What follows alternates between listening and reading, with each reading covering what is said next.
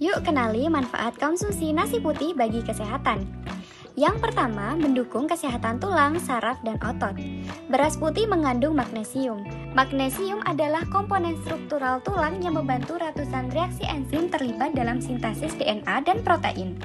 Yang kedua, meningkatkan kesehatan usus besar.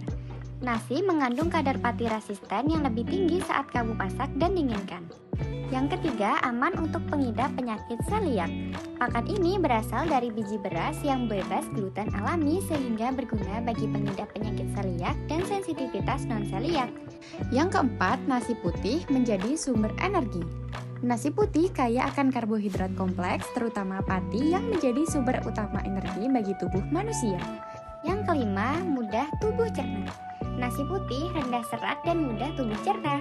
Manfaat ini menjadikannya pilihan yang baik untuk pengidap masalah pencernaan seperti GERD.